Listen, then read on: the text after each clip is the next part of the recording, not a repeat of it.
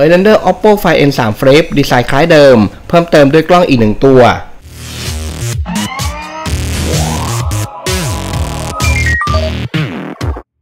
ล่าสุดได้มีภาพ render และสเปคของ Oppo Find N3 Flip เผยออกมาแล้วครับ โดยเว็บไซต์ 91 Mobile ได้เผยข้อมูล Oppo Find N3 Flip ที่จะใช้ดีไซน์และบานพับคล้ายเดิม ยกเว้นกล้องหลังที่จะเพิ่มเข้ามาอีก1เลนส์ รวมเป็น 3 เลนส์ครับ จากรุ่นเดิมใน Find N2 Flip ที่มีอยู่ 2 เลนส์ด้วยกันครับ โดยใน render แรกเราจะเห็นตัวเครื่องที่มีสีดำพร้อมด้วยหน้าจอแสดงผลด้านนอกขนาดใหญ่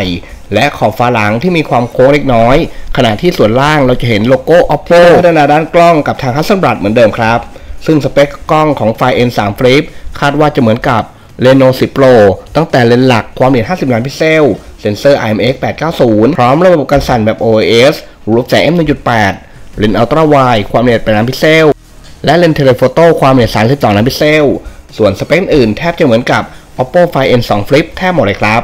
โดยสเปคของ Oppo Find N3 Flip ตามข่าวลือมีตามนี้ครับ